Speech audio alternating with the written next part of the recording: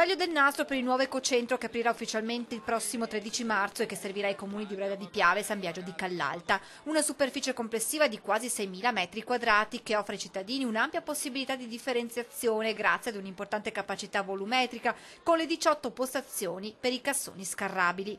Dunque un ecocentro all'avanguardia rispetto ai vecchi punti di raccolta. Un ecocentro frutto della sinergia tra Contarina e i comuni di San Biagio e Breda. Un'attenzione particolare poi alla sicurezza grazie al sistema di videosorveglianza che controllerà tutti gli accessi. Entrata nei ecocentri con sistema di telecamere che poi eh, raccogliamo i dati in un unico centro e quindi controlliamo con un unico centro tutti gli ecocentri e tutti anche le attività di eh, controllo del territorio che facciamo per conto dei comuni.